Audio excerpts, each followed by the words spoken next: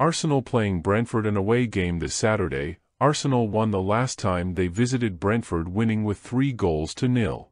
But Arsenal's injury list is growing, fitness worries have already plagued the squad through Martin Odegaard, Gabriel Jesus, Eddie Nketiah. Martin Odegaard suffered a concussion when he was smacked in the face by a ball in a training session and Premier League rules state that a player suspected to have suffered a concussion must rest for six days and should be symptom-free before they return to action. It's not clear if Odegaard missed Saturday's game against Burnley due to the concussion or if it was linked to an ongoing hip injury that the Norwegian has been troubled by in recent weeks.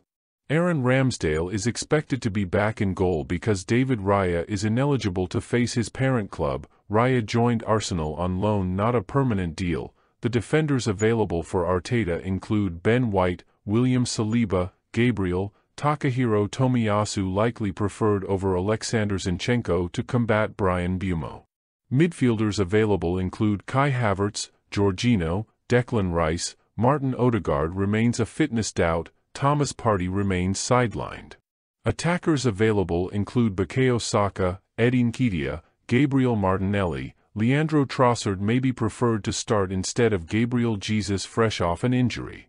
Mikel Arteta facing a possible touchline ban for misconduct during Newcastle's game, charged with a breach of FA Rule E3.1 if found guilty.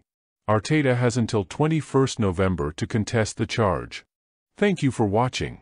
Subscribe for more all-around sports analysis.